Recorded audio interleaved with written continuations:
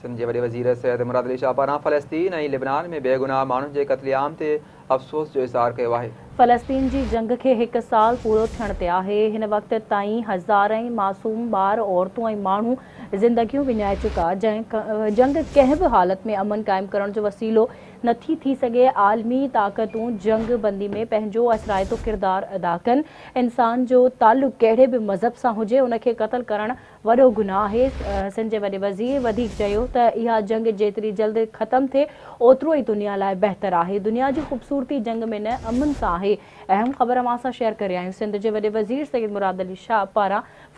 लिबनान में बेगुनाह माण्हुनि जे कतले आम ते अफ़सोस जो इज़हार कयो वियो आहे फ़लस्तीन जी जंग खे हिकु साल पूरो थी वियो आहे हिन वक़्त ताईं हज़ार ई मासूम ॿार